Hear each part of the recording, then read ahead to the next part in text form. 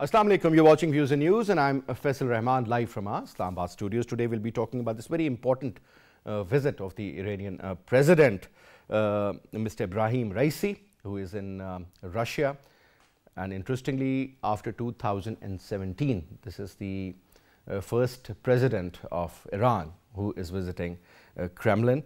And he had very productive meeting uh, with the Russian President Vladimir Putin and they discussed so many issues including the G JCPOA, the P5 plus 1 issue, plus on top um, the issue regarding Syria, Middle East and uh, so much more as uh, the uh, Iranian president very categorically mentioned that there are no limits for expanding ties with uh, Russia. So, a very positive sign and having said that their uh, relationship has really significantly improved with the uh, Chinese also. Now, what sort of uh, deal is going to be signed out there? What sort of a support will they be getting uh, from the Russians? Uh, that is pretty important. And I also uh, remind you that uh, the gentleman I am talking about, Mr. Raisi, he is going to be most likely the next supreme leader of Iran. So, you can well imagine how important this particular uh, person is. Now, before I introduce you to our panelists and we start off the program, our production team has prepared a report. Let's watch that first. Iran's recent foreign policy engagements are making it a crucial participant of the emerging new Cold War and global bloc politics between the United States, China, and Russia. In this regard, China's recent reaffirmation of its opposition to the unilateral sanctions of the United States against Iran in a meeting where Chinese and Iranian foreign ministers announced the launch of a 25 years cooperation agreement was a proof of a clear defiance of both nations from United States unilateral approaches. In this meeting, Chinese Foreign Minister Wang Yi backed efforts to revive the 2015 nuclear deal between major powers and Iran while declaring the United States primarily responsible for the ongoing difficulties with Iran. Moreover, Russian President Vladimir Putin on 19 January 2022 hosted his Iranian counterpart Ibrahim Raisi and hailed the cooperation between two countries on various international issues. Ibrahim Raisi in this meeting said that Iran has no limits for expanding ties with Russia and ties will be permanent and strategic. Vladimir Putin also said that it is very important for Russia to know Iran's opinion on joint comprehensive plan of action. Recently,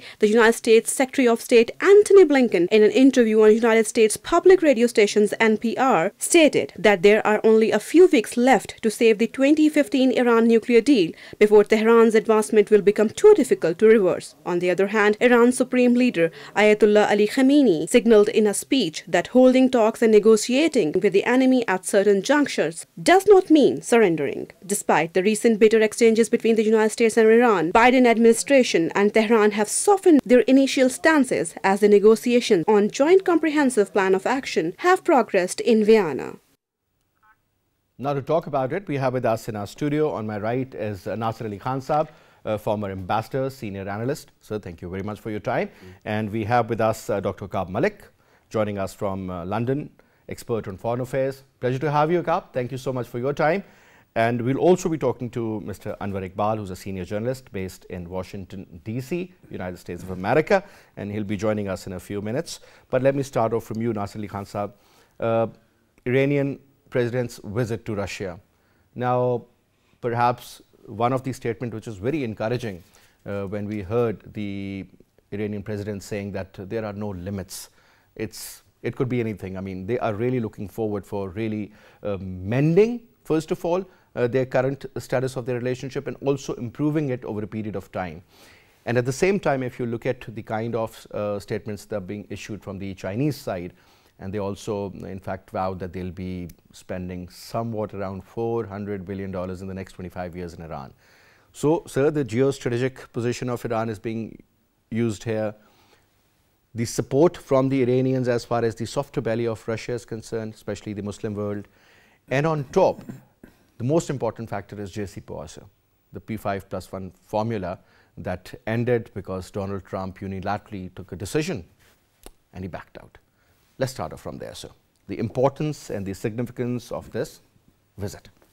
Well, you know, Russian-Iranian ties um, are now quite old in the sense that earlier uh, when there was pressure on uh, Iran because of its nuclear policy, Russia and China were the two P5 members that supported them often in the Security Council.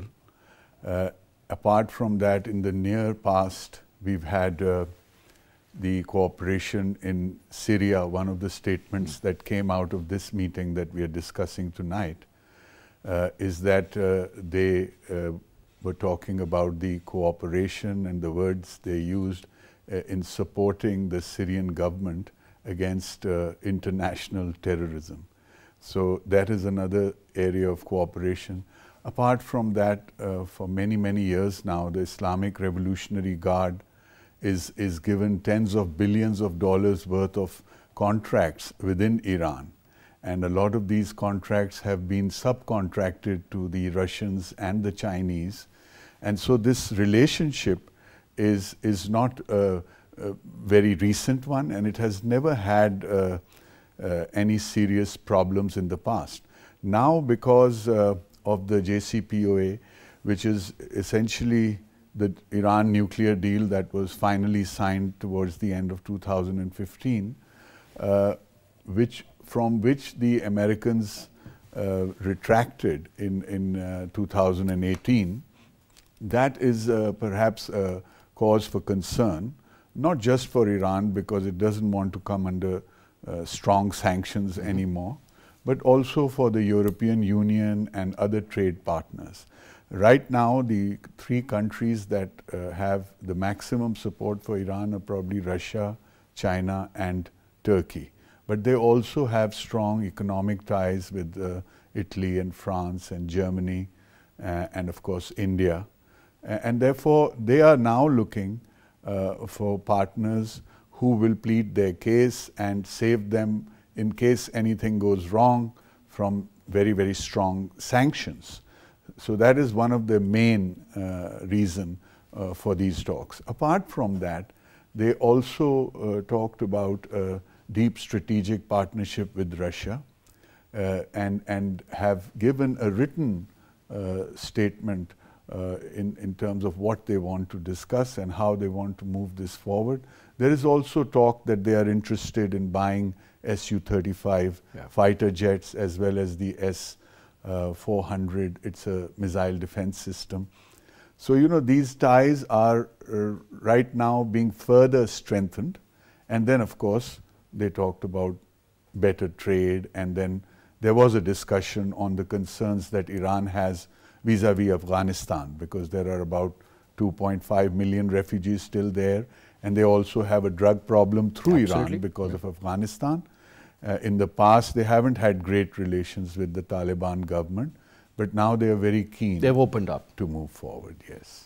Now, uh, coming to you, uh, Dr. Waqar Malik, a couple of important points.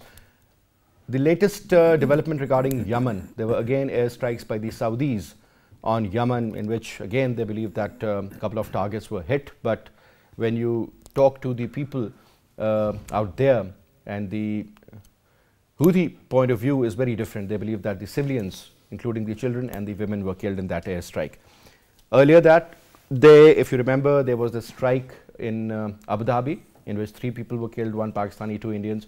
And the Houthis, in fact, uh, accepted the responsibility uh, of that drone strike. Now, what I'm saying is that things seem to be settling down in Syria, but another very important front is wide open, and that is the issue of Yemen, sir. Pretty important, pretty significant, and very alarming also.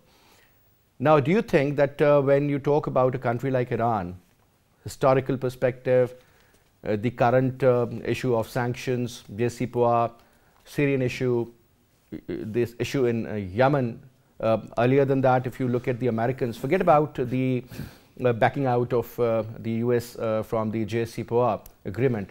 But sir, we have seen General Soleimani being killed. Another top-notch Iranian scientist was also assassinated. So in this perspective, where do you see Iran now sort of moving? As far as Saudi Arabia is concerned,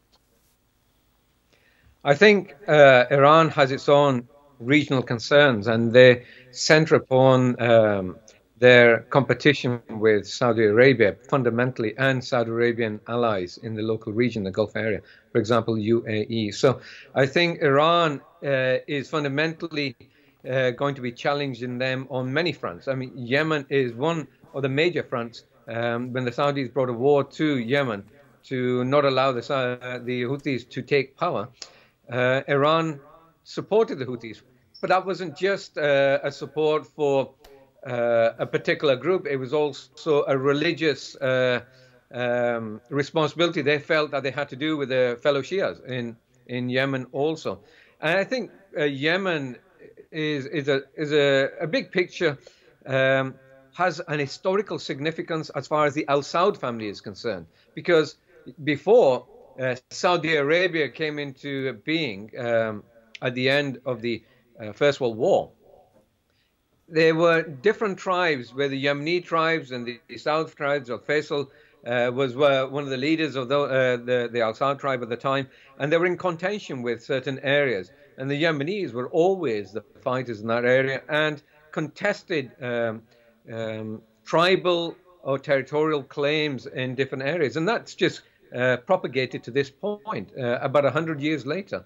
Um, but as far as Iran is concerned, they, I feel that they will continue to counter Saudi Arabia's advancements in uh, the Arab countries and different areas to support the Shia minorities in different countries, but also that they want to reduce Saudi Arabian uh, geostrategic or at least regional influence in that area. Um, this is in the region. Um, its its relationship with uh, Russia is something else. Uh, the relationship with Russia is primarily uh, global in reach, primarily be to offset um, United States pressure, sanction pressure to provide to uh, sol- sol- consolidate the relationship between Russia and Iran over the forthcoming years, especially because Russia is seen as a direct threat to American and Western interests in Europe. Um, and as a result, Iran feels that it needs to strengthen that bond. But as the previous speaker said, this relationship has been pretty strong for some time now, especially in Syria, uh, where uh, Iran and the Russians have supported Bashar al Assad throughout the civil war in direct opposition of Western interests there and in direct opposition of Saudi interests there. So, so you can see this continuing. I don't think this is going to stop. The same goes for Lebanon, uh, Palestinian territories, wherever Iran feels that it can put a place and instigate opposition against Saudi interests or Saudi and allied interests, then it will do so. I think it's a, it's a contest between two regional powers that's not going to stop at any time soon, and it's been going on for a long time. Uh, since, since Khalid bin Walid uh, defeated the Persians 1400 years ago through guerrilla warfare. However, the caveat being that Persia had been in constant warfare for a thousand years before that and felt weak. And as a result, the, uh, as far as the, uh, the Persians were concerned, they let the Arabs in. They want to counter this influence and they want to maintain a certain degree of dominance in the region. And that influence amongst other countries is necessary. Their linkages with China, for example, and linkages with Russia would enhance their stature amongst other local countries in, in the region. I think that's very important for them, but also geostrategically.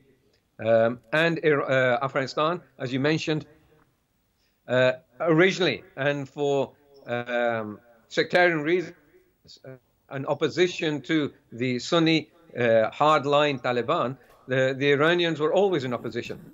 Until recently, they felt, especially because the Russians are becoming a bridge between Iran and um, the Taliban, that they're going to try to find favor with the Taliban, primarily because also the Taliban are seen as opponents of the US as well as they have been for many mm-hmm. years. So trying to inculcate a certain relationship, a strategic relationship in the future. We can foresee that happening.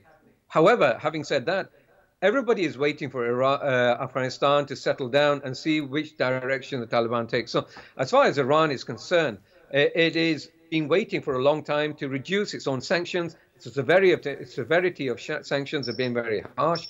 The joint comprehensive plan of action, the nuclear deal, in other words, has uh, been reinvigorated since last year. Uh, with meetings in April, I think, last year, and continuing to occur. and there's there's a certain mellowing out, especially because of the Biden uh, administration.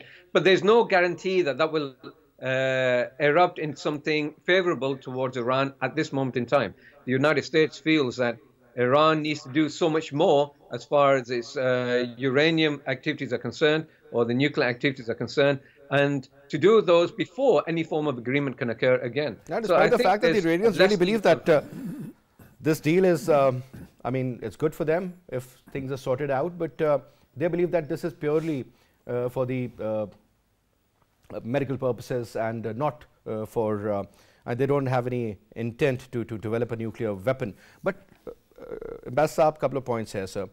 Number one, the recent development, let's say, uh, between the GCC countries and Israel, sir, in particular UAE, and now things are also settling down with uh, Qatar on various fronts between Qatar and Saudi Arabia. Obviously, Saudi Arabia is a dominating power out there, sir.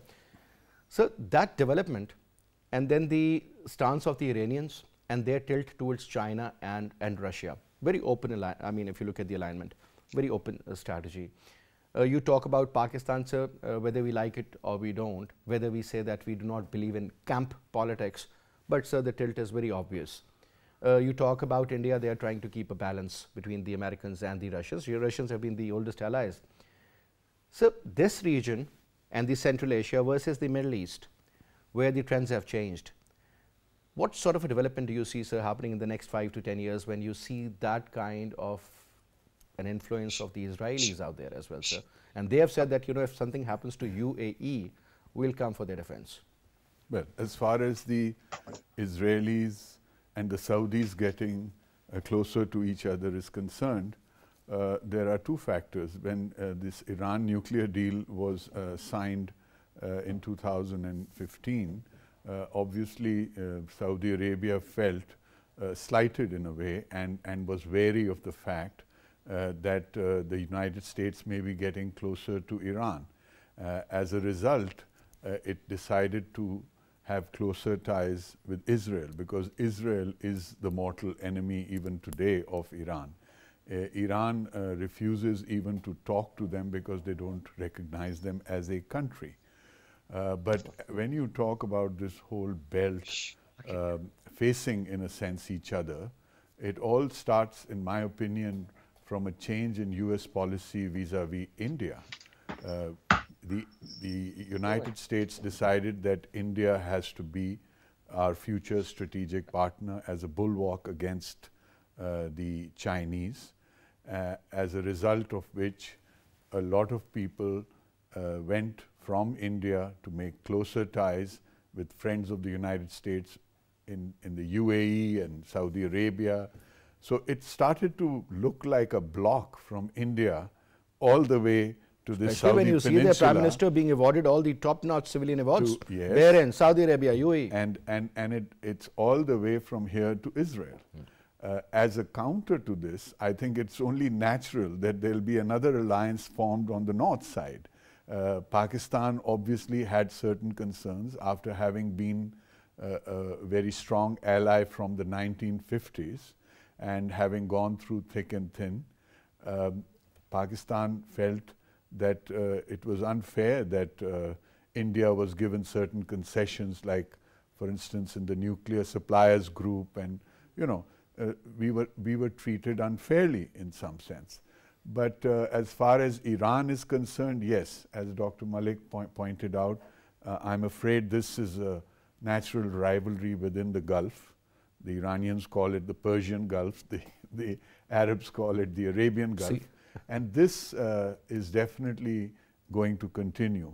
Iran has influence in uh, Bahrain, uh, in Kuwait, in Syria, and of course Yemen to some extent. Uh, and then uh, the Saudis obviously want to counter uh, this influence. So as far as I can see, despite everything, the rivalry is going to continue. And as you said, Iran is going to get increasingly uh, closer to Russia and China.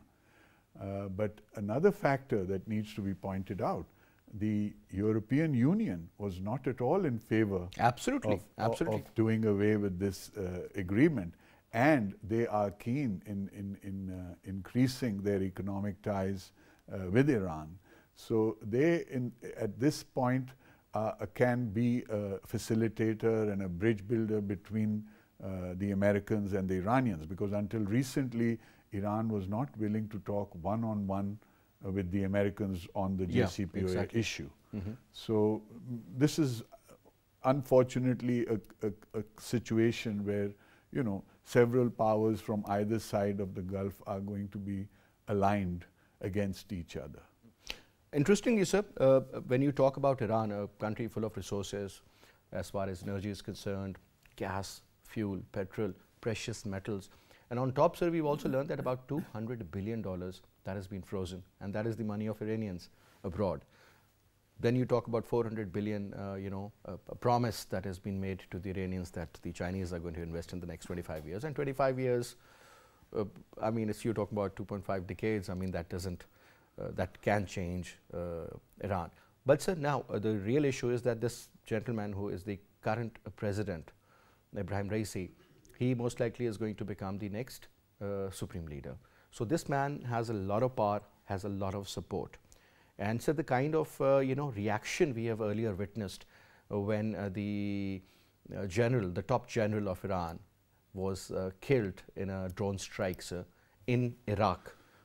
The um, Iranians fired missiles on the uh, American, uh, you know, certain bases in, in Iraq. Oh, So the point is that you know uh, you, you you you know that Iran means business, and they won't back out because historically, if you look at them, I mean they have always been very challenging in that regard.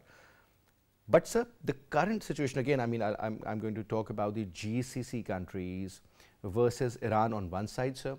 A lot of support for the GCC countries uh, is also mustered by the uh, Israelis. And also, sir, let's go back a little, sir. Let's go back uh, into history when uh, the President of the United States of America was Mr. Obama. And he was, I, I think he did, he did a brilliant job when this uh, particular deal, JCPOA, was concluded.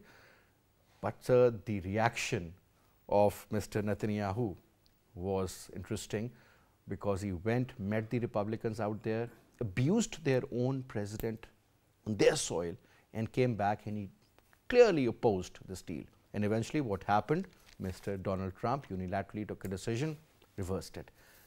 Do you see some sort of a breakthrough now, sir? Because according to certain very senior officials, Mr. Joe Biden has also hinted that if certain issues are taken care of, yes, we can restore it. Yes, I think, I think Iran, you see, when we talk about all the natural resources in Iran, uh, let's take the example of the Iran Pakistan India pipeline, which is a gas pipeline supposed to come from the Pars and surrounding uh, gas fields. This could have been a major, major uh, advantage for, for Iran's economy. Uh, then you're talking about the oil. We must realize that the, due to the uh, years-long sanctions, a lot of the oil infrastructure is, is uh, very, is, is quite derelict.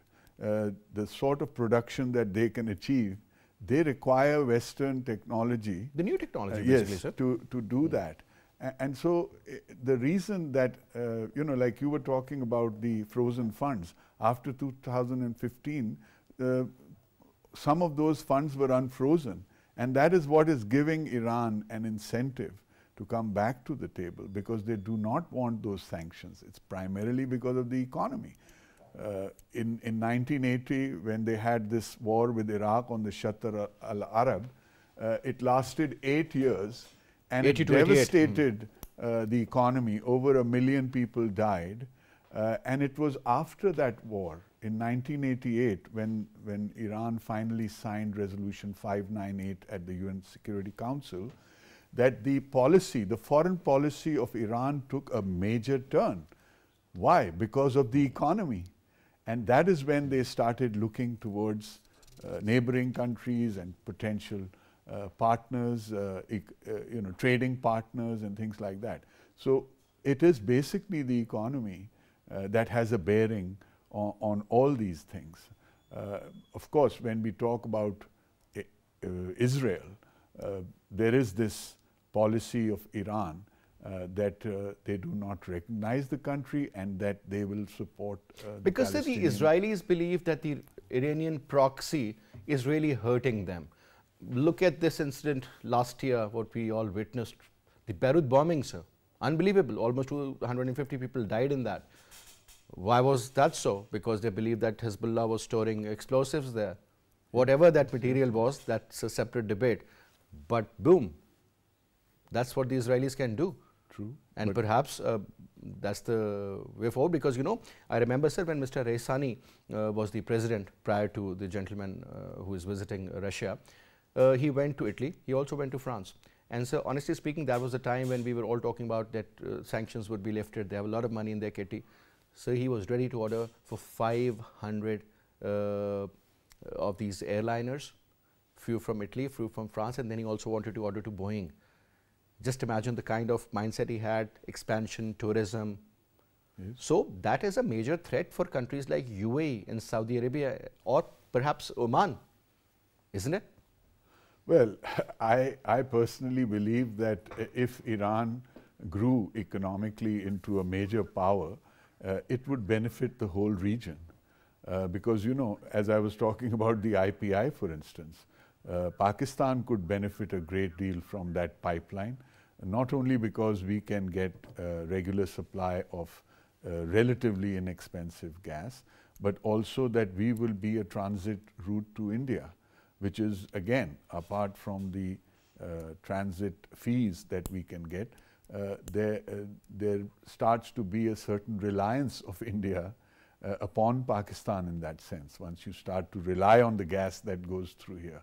So it's all about the. Then nobody was going to blow those pipes. No, but personally, personally, I believe uh, that uh, a strong, economically strong mm. Iran, a vibrant economy in Iran, uh, tourism, people coming and going, is going to be very beneficial for the uh, whole region, not least of which uh, will be an advantage to Pakistan because our link uh, to Europe, you know, we've so we tried have the best to send network a train. of gas uh, pipelines in Pakistan. Not only One that, the best. we are talking about trade routes via train, which is much faster, cheaper, you know, quicker.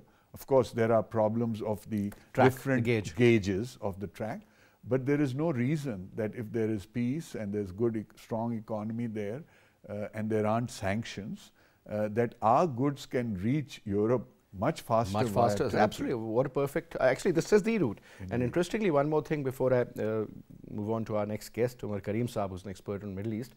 Uh, one important factor, sir, is that uh, if you look at Iran as, as, as a country which can join Asia to Europe, I mean, I think that is something which is really important and they've developed the infrastructure also. And I still remember, sir, Mr. Ahmadinejad was the prime, uh, was the president in 2013, last couple of months of the People's Party's government, sir, when Mr. Uh, Asif Ali Zardari being the president, went to Iran, sir, when this uh, deal was done. And the Iranians were offering $250 million to Pakistan to develop that sort of an infrastructure within Pakistan. Unfortunately, nothing happened. We didn't hear much because a lot of pressure was on Pakistan. And then Nawaz Sharif Saab came in and, you know, True. everything was reversed. Now we have with us um, Umer Karim Saab, expert on Middle East. Assalamu alaikum ji. Walaikum assalam. Umer Saab, thank you very much for uh, talking to PTV World. Now, since we're talking about the uh, geopolitics in the Middle East, we're also talking about the very important visit of the Iranian president uh, to Moscow. And uh, as we say that Iran is in the uh, transitioning uh, the world order. How do you see this? It's a, it's a very important visit because uh, uh, there have been um, lately tensions between the U.S. and uh, Russia. They have been on the increase, and uh, definitely Moscow uh, is a very important geopolitical player uh, with regards to Iranian neighborhood as well. especially if you see the recent developments uh, between Azerbaijan and uh, Armenia. Uh, so that's another theater where Iran and Russia both have stakes. they both have stakes in Afghanistan. So I think there is a long list of issues at the table between the two sides. And also, both sides will be talking about uh, the possibility of uh, revival of the JCPOA because Russia is also uh, part of the extended uh, you can say, deliberations uh, uh, in, in, this regard.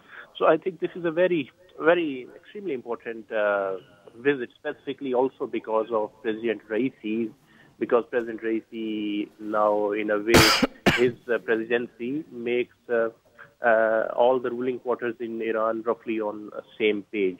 Uh, so before there were uh, relative tensions or relative, you can say, uh, differences between uh, the, you can say, the presidency and supreme leader or uh, revolutionary guards. But now it seems that all are on a similar line and political alignment. So that enhances further the importance of this visit.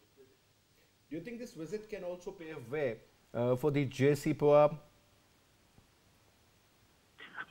Uh, they can play, they can uh, influence Iran. Russians were uh, always very supportive of the idea, so were the Chinese and even the Europeans. Yeah, yeah, definitely. I think uh, all of them uh, are supportive of this idea. And I think also Russia and China, probably they have the biggest leverage on Iran in this regard as well. So their position becomes even more important because the U.S. Uh, and by default the Europeans, they have all enforced um, uh, sanctions regime on Iran, so their leverage is uh, is very small.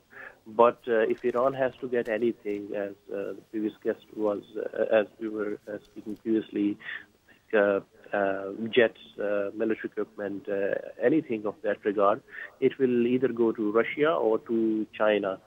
So that's why Russia is very important. And if the Russians can influence Iranian position, that would be actually quite positive for the whole region. All right. All right. Thank you very much, Umer, for, you, for your uh, uh, comment. Now, coming to you, uh, Dr. Aqab Malik. Iran historically has always been a very close ally of the Americans, sir. If you look at the history, Shah Iran, the way he was engaged with the Americans. But whatever happened after that, there was this revolution in 1979, things changed, and we all know what happened after that. But do you think in the current scenario, I mean, during these important times, how important is Iran uh, uh, for the United States of America as an ally? And what difference will it make if they are in the other camp? And especially uh, in the perspective of the current developments in the Middle East? Well, you said you said uh, how important is Iran as an ally of the U.S. Well, it's not an ally. Full stop. It's on the opposing camp. No, um, and has been historically well, very close to them. Sorry. Historically, Iran was very close to United States of America during the time of Shah Iran. Post 1979, 1980, and then there was a war for another eight years, and things changed after that. Well, it's not it's not an ally right now, and it's 40 years. So I don't think that's going to change anytime soon, unless there's some drastic change in the governance structure uh, and the type of governance in Iran. That's not going to change at all. I think Iran is fundamentally, permanently opposed to the United States for foreseeable future, unless there's a drastic change mm-hmm. in, in the government in, in Iran. So, so it is going to try, as as a country, it's a smaller country, much smaller than the United States. It's going to try to balance off U.S. pressure with allying itself with China and uh, Russia and projecting that power, in essence, uh, into the Middle East, where it wants to influence. Um, for example, you mentioned a $400 billion deal. Actually, uh, the fact of the matter is that these numbers uh, are a fallacy. They, they don't exist. They, the, the agreement last year, the strategic agreement between China and uh, Iran had no quantitative facets to it, meaning it did not mention uh, numbers of uh, or amounts of money. And this has been qualified by both the foreign ministry in Iran and these, um, the Chinese foreign spokesperson. So they said that there is no monetary, uh, quantitative, established numbers to this deal. It is more a shoring up of understanding between the two countries. Um, and China in itself is playing uh, the larger game as a direct strategic competitor to, to, the United States. And in doing so, is going to want to find a number of allies, a number of relationships around the region and elsewhere to counter U.S. Um, influence. Uh, Iran is just one of them. It's not profoundly overarching and in significance uh, as, a, uh, as its relationship with Pakistan as well. Or even the relationship that the Chinese have with Saudi Arabians, which is substantially bigger as far as monetary concerns are, uh, because of the, the, the amount of um, oil and gas shipped um, or transported to uh, uh, China, because it's, a, it's an energy dependent country. Um, and it's not a supplier, you see. So, so China is trying to balance off lots of different facets around the world, and Iran is just one of them. When it comes to Iran, I Saudi Arabia is still the biggest China supplier of oil to partner. Chinese. Sorry? I'm saying Saudi Arabia is still the uh, major supplier of uh, energy resources to China. That's what I'm saying. So what I'm saying is that Iran may be uh, touted as being a very large, significant strategic shift in relationship, but it's not this agreement between the Chinese and Iran isn't that significant. It is just following on from established relationships, putting it into writing, and more an outline of potential goals in the future, as opposed to definitive investment from the Chinese. And they're watching carefully. The Chinese are still watching Iran primarily because they don't want to be subject to sanctions. Uh, from the Americans can impose similar sanctions and uh, and use this particular situation with Iran to uh, negotiate with them to, to impose sanctions on, furthering sanctions on uh, China, which they do not want. So I think the Chinese are being very careful with their relationship with Iran. They're not putting billions of dollars into infrastructure development. That was just an understanding, but there's nothing concrete made.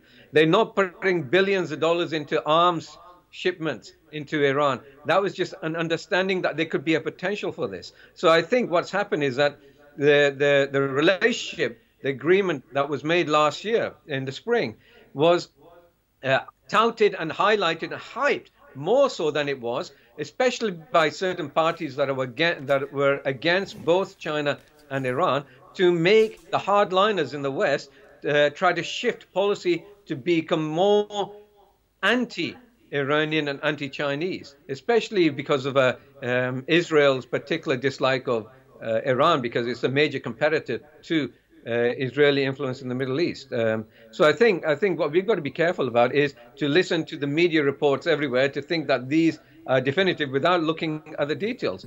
This number you know, 400 billion that you were talking about was actually a falsified report ma made in uh, 2019, which has been taken off the internet altogether. So that that's basically been invalidated altogether. So this number sticks in the in the the information sphere, but it actually doesn't exist at all.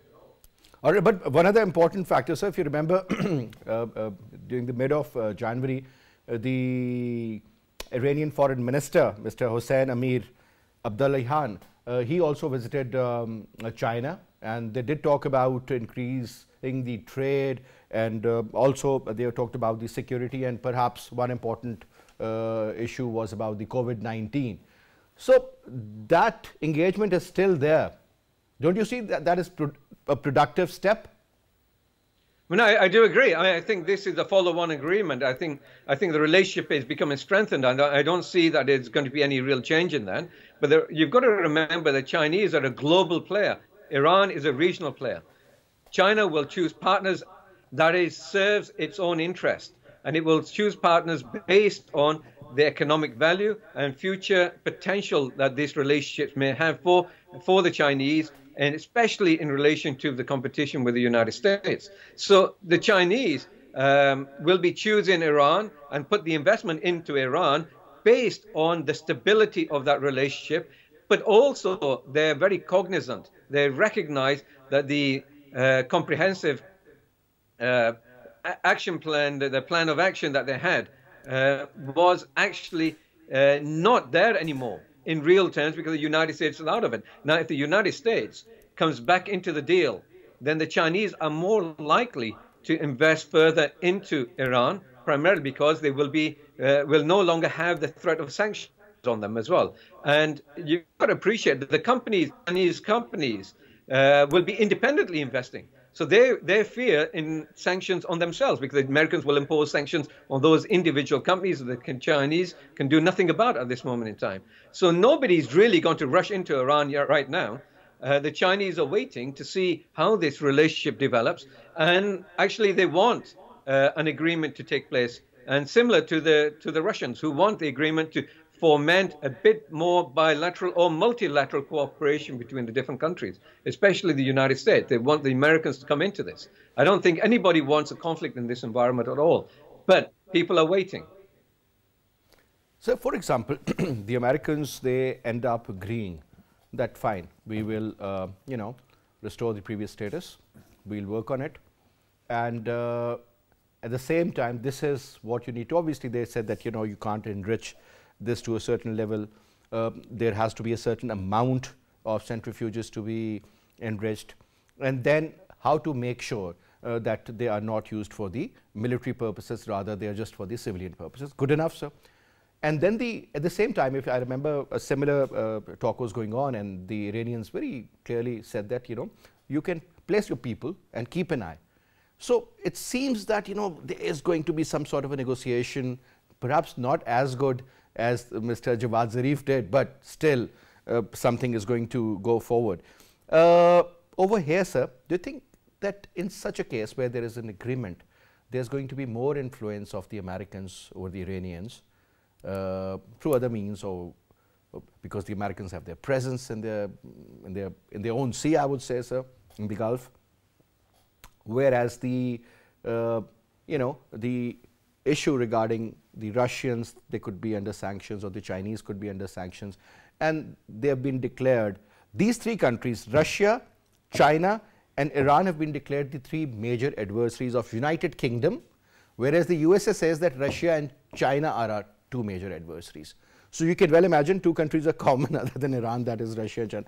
How do you see this equation now? Because sir, it seems that in Europe, especially after the Brexit issue, uh, the UK is taking a lot of decisions uh, on their own and uh, I mean, uh, European countries are not much involved in that. So, especially, I mean, if you look at the statements, the recent statements of the G7 countries, sir.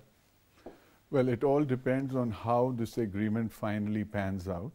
If it is similar to the agreement of 2015 and slowly Iran is opened up uh, for trade and investment, then there's, if there's money to be made, all these countries would be vying for contracts over there.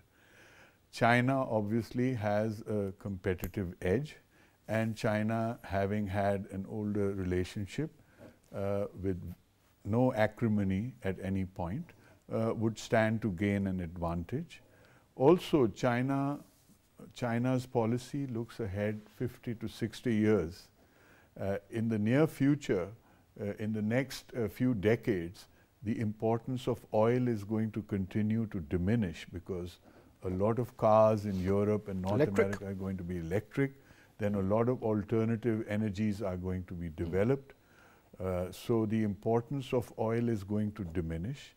But as far as the geostrategic position of Iran is concerned, nobody can change that. Nobody can as challenge that either. yes, and as far as China is concerned, uh, their One Belt, uh, One Road initiative, uh, Iran could play a very major role in that because the access to, to Europe and European markets uh, could be very easily facilitated through Iran, which, which if you were to go from the north uh, would entail uh, greater challenges in terms of weather and terrain. So if you were to take a link through Iran, uh, because of the better weather and better terrain, uh, they can be a better partner in, in a communication link, whether it is uh, roads, whether it's railways, and whether it's oil pipelines. So that will continue to be there. But as far as uh, one is not sure how much of Iran uh, will be opened. Uh, as far as Russia and uh, China, you were talking about sanctions. I don't think that the United States is in a position uh, to put those sanctions unless uh, something falls apart vis-a-vis -vis, the Ukraine. Then the international community, I'm pretty sure, they're going to exert some sort of pressure. Will, will mm -hmm. exert tremendous pressure uh, on Russia. Because in the, in, in the Ukrainian issue, sir, uh, Vladimir Putin is not backing out. One thing is for sure. This man means business, and he has very clearly, in fact, uh, told his counterparts that, see, this could happen, this could lead to a full-fledged war. I mean, he has also landed his forces in Belarus. Yes, but you see, their concerns are that the expansion of NATO, NATO is creeping closer and closer Towards to east. Moscow, and, and they want an assurance uh, that Ukraine will not be included in NATO, whereas none of the European or the Americans are willing to give that assurance. They don't see the rationale behind it, and, and they do want to. But the, the important thing is, will there be a point at which uh, Russia will actually send forces into the Ukraine? That would be a very serious issue. And that would have some serious repercussions for Russia, including sanctions and possibly some kind of military conflict. Uh, So recently the British, uh, they gave those anti-tank missile system. They said that it's a defensive system uh, to the Ukrainians. And at the same time, you know, when uh, the, the president of Russia, Vladimir Putin, said that you are actually putting all these in my porch. you remember that. Uh, so that is something to worry about. So one important and last question, and that is, what if this JCPOA deal is cancelled? Do you think then the Iranian leadership will start looking towards east? I mean, they have this look towards east policy also. Well, God forbid that it is cancelled. Uh, they will survive the way they have been doing since 2018. That's a different uh, question altogether. Uh, but uh, Iran is very, very keen, and so is the Biden administration. So there is, in my opinion, there are certain points. Uh, each side wants to take maximum advantage. And uh, so, you know, uh, at the end of the day, I'm quite hopeful that things will work out. In case, in case they do not, things will continue the way they've been doing for the last three or four years. The same continuation, that is what we can see. But anyway, uh, thank you very much, uh, Naz Saab, for your presence. It was a pleasure having you, uh, Dr. Aqab Malik, in, in the show. And uh, I would also like to thank uh, Umer Karim uh, for his uh, contribution as well. And that's all we have for this hour. I'll see you tomorrow, inshallah. Till then, you take good care. Khuda Hafiz.